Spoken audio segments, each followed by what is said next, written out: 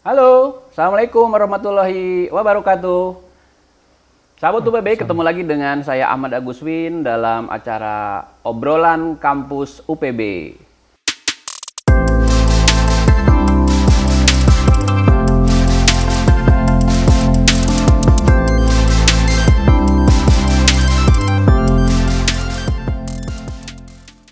Hari ini saya kedatangan tamu spesial luar biasa ini dari Fakultas Ilmu Pendidikan dan Humaniora.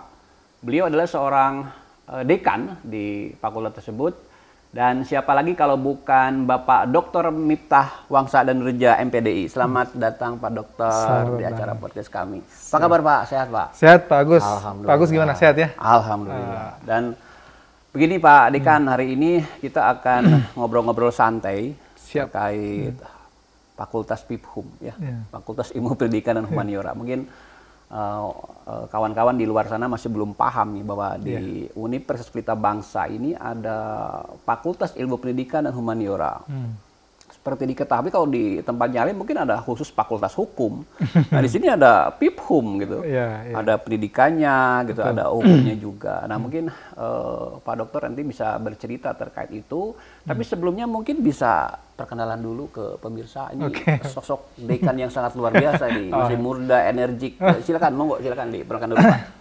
Baik, eh, Bismillahirrahmanirrahim. Assalamualaikum warahmatullahi wabarakatuh. Perkenalkan, nama saya Miftah Wangsa Danureja. Saya lahir di Bandung, tepatnya tanggal 28 September 1983. Perjalanan karir saya di UPB ini alhamdulillah dari nol Pak Min.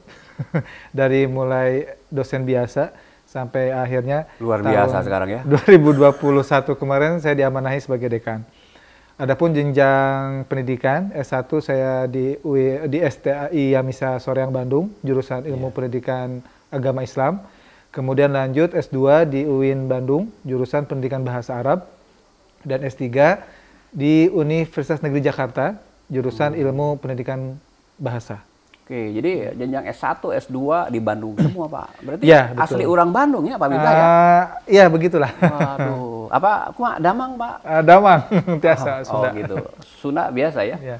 Oke Pak, seperti yang tadi saya sebutkan bahwa oke teman-teman ini adalah luar biasa sekali nih kita ketemu dengan Bapak Dekan dari Piphum ya Bapak Dr. Miftah Wangsa dan Reja MPDI dan nanti beliau akan sedikit bercerita terkait apa itu Piphum ya. Kemudian ada prodi apa saja di sana, eh, visi misi dan sebagainya mungkin eh, bisa langsung dijelaskan saja sama Pak Dekan. Monggo silakan. Siap. Terima kasih Pak Agus Win atas kesempatannya. Saya juga merasa eh, tersanjung nih dapat undangan dari eh, tim eh, PMB ya. Oh iya. Masya Allah.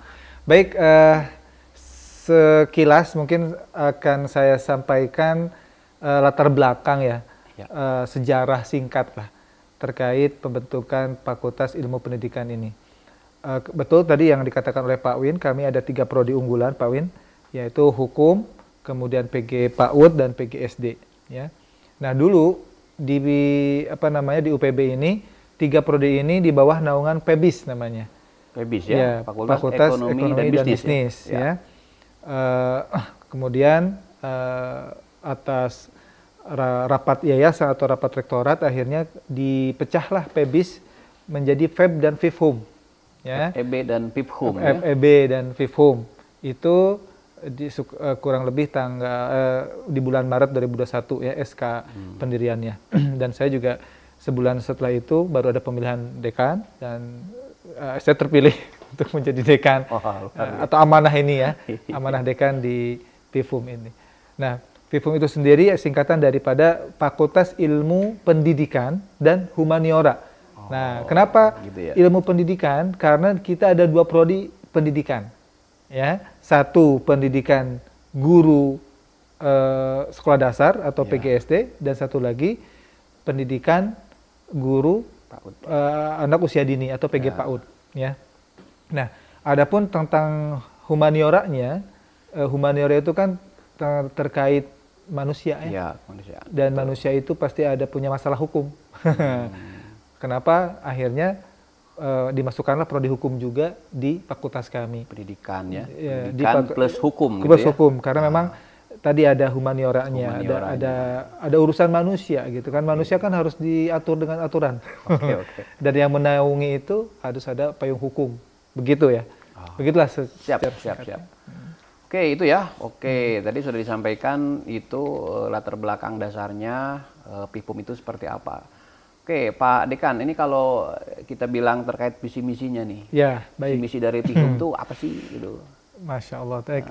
Untuk misi-visi sendiri ya, eh, visi un, eh, visi FIFUM ya, menjadi fakultas yang humanis, kreatif dan inovatif di bidang ilmu pendidikan dan humaniora yang berjiwa entrepreneur bertaraf internasional pada tahun 2045 nanti. Itu misi kami. Jadi karena memang kita meru- merujuk kepada misi universitas yang harus menjadi entrepreneur internasionalnya. Begitu. Oke, kalau sesuai dengan eh, visi misi dari UPB sendiri tadi ya eh, menjadi eh, apa? Entrepreneur University. University sampai tahun 2045 ya. 45, ya. 2045. Oke. Wah, jadi entrepreneur ya. Entrepreneur. Nah, oke eh, bicara prodi-prodi tadi, Pak. Hmm. Sudah disampaikan ada PG PAUD, ada PGSD dan Hukum. eh, hukum ya. Iya. Mungkin bisa dijelaskan sedikit saja, Pak, terkait eh, ketiga prodi tersebut. Apa sih itu PG PAUD, apa Iya. itu PGSD dan apa itu prodi hukum? Betul. Bisa dijelaskan mungkin? Jadi gini, untuk PGSD, PG PAUD ya, karena kita tadi saya sudah sampaikan di awal eh, sebagai penyedia atau fasilitator bagi rekan-rekan yang ingin menjadi guru-guru, ya, guru-guru eh, baik itu di tingkat SD ataupun di tingkat PAUD. Ah, Alhamdulillah kami di sini melihat pangsa pasar bahwa eh, ke depan itu kita akan membutuhkan tenaga-tenaga pengajar. Oh. Eh, tenaga-tenaga pengajar. Apalagi kalau saya lihat ya di beber- di situs Kabupaten Bekasi online itu kebutuhan guru baik untuk SD dan TK atau PG PAUD itu mencapai 4.530 lebih. Itu PAUD dan SD ya? Eh, PAUD aja PAUD sebenarnya. saja. Untuk SD Kebutuhannya 4.000 ya? untuk SD Lebih dari untuk 4.000 PAUD ya. Untuk PG PAUD. Untuk SD itu kurang lebih ada sekitar 9.000. Wah. Ya, itu se- sekupnya kabupaten ya. Kabupaten saja itu ya? Iya, kabupaten. Belum, Belum nanti kita Jabar. Jabar. Ah, Jabar lebih Oke, banyak jangan terlalu jauh kita skupnya Nah, kabupaten saja kita dulu. kita ambil yang spesifik aja karena kita tinggal di Cikarang di Bekasi. Ya, otomatis kita juga ingin melihat eh, mana sih eh, guru-guru yang belum ber- berijazah S1 Oh. karena memang sekarang harus di- dibutuhkan eh, legalitas formal itu sangat penting sekali. Hmm. Setiap orang bisa jadi guru sebenarnya, setiap orang bisa menjadi pendidik, tapi kadang-kadang itu perlu kita buktikan dengan salah satu Legal ya? legalitas. Oke, eh, Pak Dekan, ini sampai sejauh mana tadi disampaikan ini sampai 4.000 kebutuhan Iya. tenaga eh, guru untuk PAUD. Iya. Ini yang sudah terisi itu berapa tuh dari total kurang lebih 4.000 itu? Pos yang sudah terisi kira-kira. Hmm. Eh, jumlah jumlah sekolah ya jumlah sekolah yang ada di PG di Kabupaten Bekasi saja saya- kalau saya lihat itu kurang lebih sekitar 900 Hmm. 900 ya dan itu baru ya setiap setiap kelas setiap sekolah itu hanya ada dua tiga guru saja ya berarti totality kalau 900 ada Kurang ada lebih 1000. 2000-an lah ya? Iya, dua, 1000, 2000 ya? Ya, betul. Nah, sekarang gini Pak Win.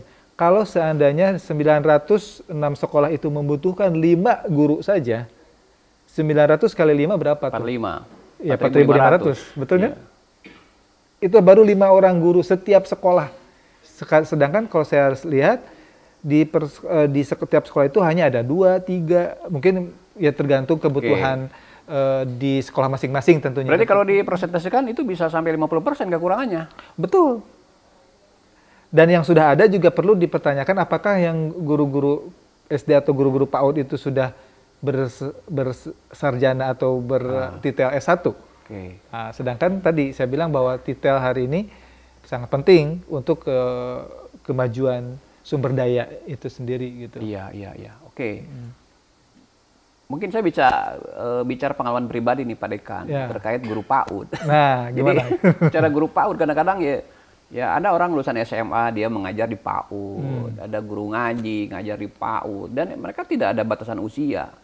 Ya saya lihat guru-guru PAUD itu mulai dari yang muda sampai yang mama itu juga ada. Cuman Yeah. ketika ditanya tadi betul legalitas mereka belum punya. Iya. Dan alhamdulillah nih di UPB melalui PIPHUM Betul. ada prodi PG PAUD, PGSD ya. PGSD. Dan pasti secara legalitas mereka bisa lebih nyaman lagi nanti untuk Betul. mengajar anak-anak ya.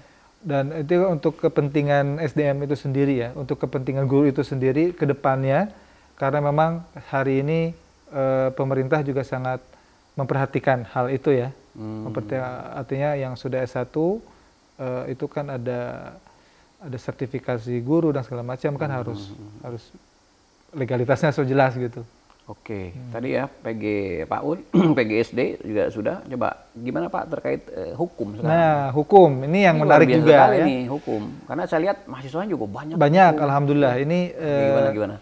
Alhamdulillah di pro, di fakultas kami dua prodi ini memang sangat bagus sekali yaitu prodi hukum dan PGSD. Ya. Hmm. Artinya peminat untuk menjadi mahasiswa di prodi hukum dan PGSD ini eh, sangat banyak gitu ya. Nah, untuk PG eh, untuk hukum sendiri di kami eh, alhamdulillah sudah berjalan ya. Eh, dah sudah beberapa semester lah, sudah hampir eh, ada tujuh sem- Tujuh semester ya? Ada Berarti satu semester lagi? Iya mau ada, Ada mau lulusan sebentar lagi baru. insya Allah sebentar, sebentar lagi kita hukum akan ya? meluluskan pecah telur lah istilahnya gitu ya. Iya, iya. Dan saya masuk dari tahun 2021 sampai sekarang ini melihat perkembangannya cukup bagus nih hukum. Hmm. Eh, karena memang tadi mungkin kebutuhan masyarakat ya Pak Win. Kebutuhan masyarakat dalam eh, ke- dalam memenuhi eh, fasilitas hukum dalam artian kita butuh lawyer ya, Iya, iya. butuh eh, apa namanya pengacara itu sangat apa namanya sangat dibutuhkan sekali gitu. Iya. Ya oke, ini sebenarnya untuk prodi hukum ini sangat menarik di Padekan Hmm. karena kan pastilah mahasiswa sekarang juga sa- saya secara pribadi mungkin di Padekan mendengar berita-berita aktual, berita-berita Hmm. baru terkait eh, penyelenggaraan hukum di negara kita nih. Hmm. Ya kalau disimpulkan masyarakat sekarang sudah bicara, sudah bisa menyampaikan bahwa hukum di Indonesia itu tajam ke bawah, tumpul ke atas gitu Pak. Gimana menurut Pak Dekan? Sedikit saja ini nggak apa-apa, kita tidak kampus gila Pak. Ya baik. Nah ini yang menarik Pak. Ini yang menarik eh, hukum di kami di UPB ini justru ingin kita ingin membentuk mahasiswa-mahasiswa eh, hukum yang memiliki jiwa jiwa-jiwa yang memang betul-betul dia memiliki jiwa-jiwa keadilan, jiwa-jiwa toleransi tinggi gitu ya. Sehingga ketika dia menjadi seorang praktisi hukum, dia tidak menjadi eh, praktisi hukum yang gampang untuk Oh, Nah, iya, yang gampang, iya, iya. Ya yang penting ada UUD, ujung-ujungnya duit. Oke. Nah, ini kita nggak bisa seperti itu. Mantap, mantap. Apakah ada implementasi khusus Pak di dalam melakukan eh, perkuliahan terkait hal itu? Misalkan apa tuh untuk Hmm. eh, menumbuhkan setiap siswa itu eh, menumbuhkan nilai-nilai luhur, nilai-nilai kejujuran itu dengan cara apa prakteknya di kelas itu? Ada bisa disampaikan? Sangat tepat sekali ini. Eh, karena kita milik, memiliki moto megah. Ya. Ah, megah kan? Ini saya suka nanya ke teman-teman, megah itu apa? megah itu M-nya moral tinggi kan, Ah. E-nya entrepreneur, G-nya gigih dan berkarya, A- ahli di bidangnya H harapan bangsa, itu kan megah. Nah ini menjadi satu apa ya, satu eh, kesatuan yang harus di di, di apa di, di input kepada jiwa-jiwa mahasiswa itu sendiri ya semua semua prodi saya kira semua jurusan eh, harus memiliki eh, lima dasar ini ya moral tinggi terutama. Nah ketika kita tarik ke fakultas kita prodi hukum misalnya menjadilah ketika dia menjadi seorang praktisi hukum jadilah orang-orang yang praktisi hukum yang baik yang bermoral tinggi yang berkeadilan. Ketika dia menjadi guru guru yang baik guru yang tidak arogan gitu kan. Begitu. Jadi ada kita punya em, punya moto itu megah kemudian itu diimplementasikan dalam kurikulum pendidikan kita setiap kurikulum yang ad- mengandung di di kita ini ada pendidikan agama ini wajib ya bagi bagi seluruh mahasiswa ya. ada pendidikan agama 1 2 3 sampai 6 itu untuk itu menunjang kepada pendidikan moral tadi. Ya. Gitu. Di samping nanti ada pendidikan PMP ya, pendidikan moral Pancasila itu udah jelas. Sekarang sudah nggak ada. Eh, PKN ya. PKN. Eh, PKN, sekarang. Bapak. Oh iya betul. betul ya. Itu jadi Oke. Oke, Pak Dekan, ini menarik. Sebenarnya saya ingin menggali lebih jauh terkait prodi Ya, hukum dan prodi yang lain. Oh, Cuman eh, takut ini kebablasan karena kan ada ranahnya khusus per Betul, prodi. betul, betul. Saya akan Ya, bicara nanti dengan setiap prodinya untuk Siap, eh, siap. terkait kekhususan tersebut. Nah, oke. Oke, Pak Dekan, eh, sekarang bicara terkait eh, lulusan nantinya, prediksi lulusan. Ini kalau PG PAUD apakah hanya jadi guru PAUD atau memang orientasinya hanya guru atau bagaimana? PGSD jelas eh, kan orientasinya pasti jadi guru-guru guru ya. Iya, iya. Nah, untuk hukum sendiri itu bagaimana? Bisa dijelaskan mungkin? orientasi ya, orientasi lulusan ke depan seperti apa? Yang jelas yang kita harapkan ya sesuai dengan eh, jurusan masing-masing. Dan visi misi UPB, Iya, visi misi Entrepreneur UPB. University. Betul. Nah, bagaimana nih kaitannya PAUD dengan entrepreneur, PGSD dengan entrepreneur, hukum dengan entrepreneur? Eh, Bisa? Pak Win pertanyaannya seperti asesor aja nih, asesor dong. Karena tadi disampaikan kan Iya. seperti itu. Baik. Eh, jadi gini Pak Win, eh, kita eh, apa ya? Lulusan kita kita cetak untuk menjadi eh, bukan bukan entrepreneur dulu, eh, menjadi ahli di bidangnya. Sebagai pendidik ya. Sebagai ya jurusan pendidikan ya jadi guru-guru gitu ya, jurusan hukum menjadi praktisi hukum. Ya. Ya. Dan yang memiliki moral tinggi yang tadi. Masuk ke E-nya nih.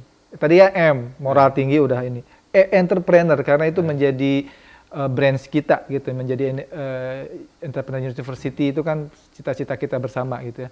Nah, uh, maksudnya menjadi entrepreneur di sini bukan berarti guru-guru ke kelas bawa dagangan gitu kan.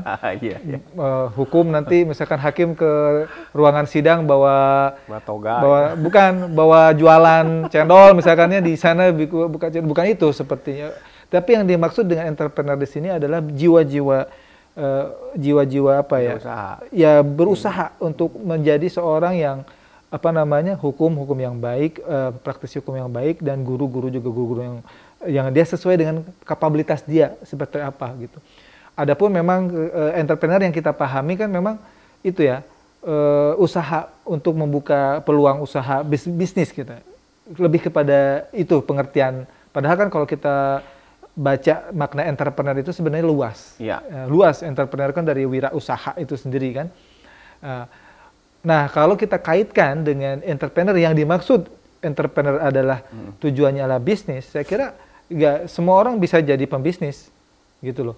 Apalagi ya di di dunia pendidikan, guru bisa juga eh, Buka kursus gitu ya. eh, ya buka-buka buka peluang bisnis siapa aja bisa gitu. Tetapi tidak melupakan esensi dianya gitu loh. Dia misalkan seorang guru, dia melupakan ngajarnya. Dia lebih fokus kepada bisnisnya. Ini salah juga. Nah, orientasi dia guru ya guru ngajar. Dia harus menjadi pendidik mencerdaskan anak bangsa. Adapun dia punya orientasi membuka bisnis, ya silahkan, itu hak dia, gitu loh. Artinya tetap eh, dia punya punya jiwa pendidik, ya, tapi dia juga tidak berpangku tangan, tidak berharap bersandar terlalu bersandar kepada lembaga pendidikan. Misalkan, mohon maaf ya, saya ingin jadi seorang miliarder dengan hanya menjadi seorang guru. Is no itu itu gak bisa itu.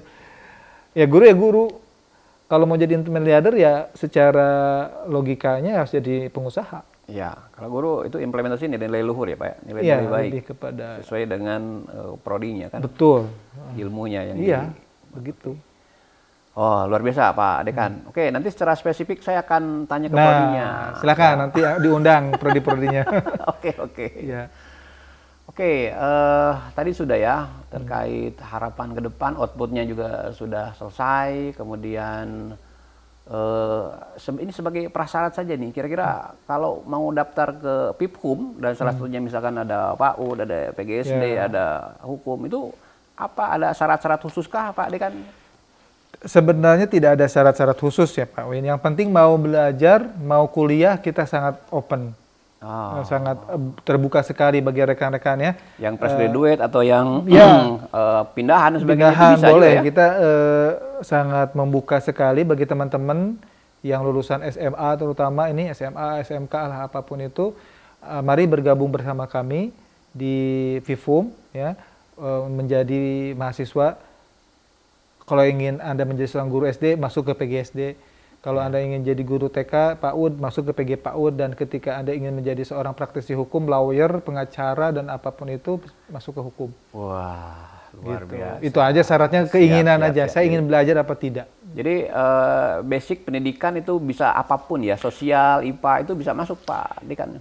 Ya, ke- karena memang gini untuk basically pendidikan SMA itu kan tidak terlalu eh, spesifik ya. Artinya kan anak-anak bisa nanti kalau mau dia masuk ke S1, nah dia mau eh, S1 dia memang harus betul-betul nih memilih ya.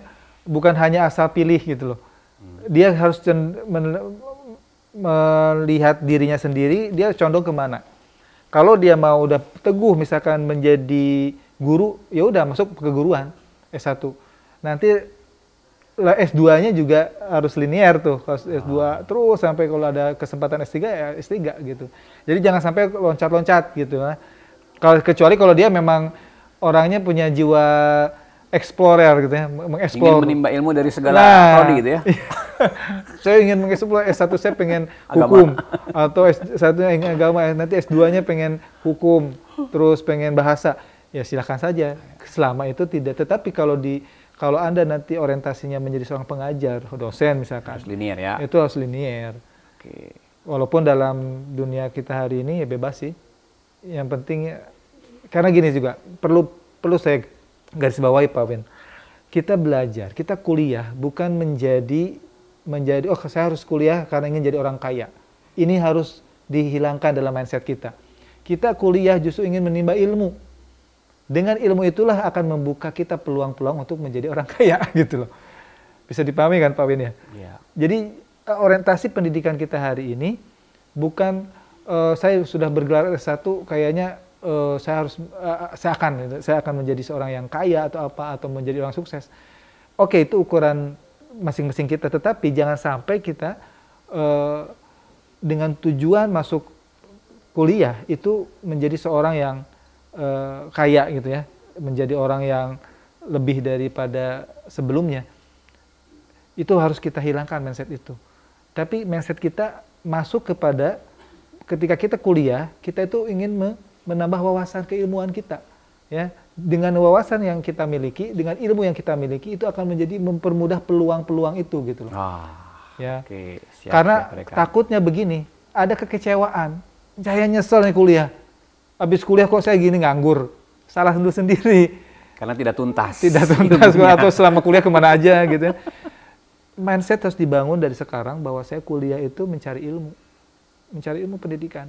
Mencari ilmu wawasan. Sesuai dengan keinginan tujuan tadi ya. Sesuai dengan kebutuhan, Kebutuhan tentunya, dia ya, ataupun masyarakat. kebutuhan masyarakat. Oh masyarakat butuh Iya. ini nih saya. Dan saya pun cenderung nih ke Iya. sini. Bismillah. Itu Iya. yang...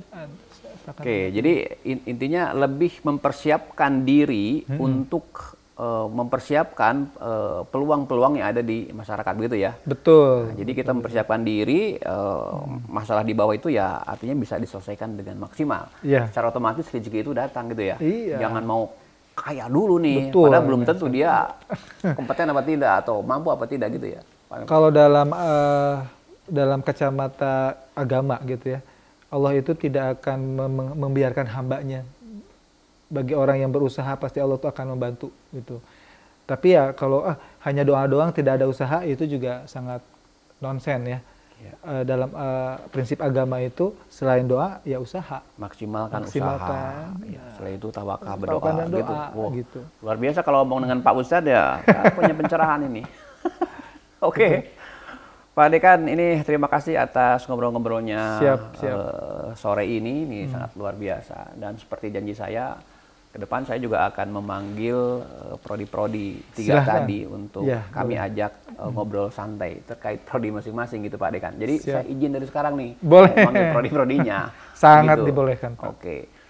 Baik, itu saja mungkin Pak Dekan yang bisa kita eh, obrolkan nih Siap. siang ini dan eh, kawan-kawan semuanya itu tadi eh, hasil eh, bincang-bincang santai dengan guru kita nih Bapak Dekan dari Pipum eh, yang sangat luar biasa. Dan inti dari pembicaraan tadi adalah bahwa siapkan ilmu itu semaksimal mungkin ya. Kita menyiapkan semaksimal mungkin karena masalah-masalah yang ada di bawah itu butuh ilmu-ilmu, butuh orang-orang yang memang kompeten, siap di bidang ilmunya uh, yang sempurna, bidang ilmunya yang memang siap untuk diimplementasikan.